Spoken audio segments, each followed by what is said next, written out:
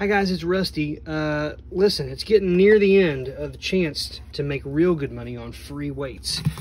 During this pandemic, I have been stocking up on stuff, and uh, I have been able to get these for a buck a piece, basically. So $2 or something like this.